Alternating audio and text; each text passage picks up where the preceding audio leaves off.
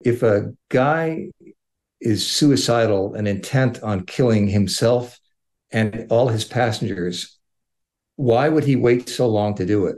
That's totally unknown. I have a theory, if indeed the captain did this, and I think he did. Okay, why waltz around this? Uh, his name's Zaharie.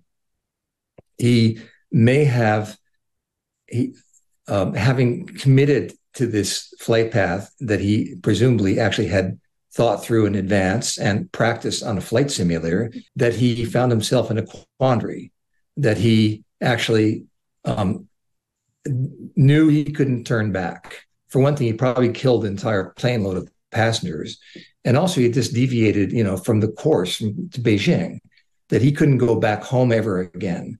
That he knew that he had to die. He didn't want to die maybe or he was savoring the last moments of his life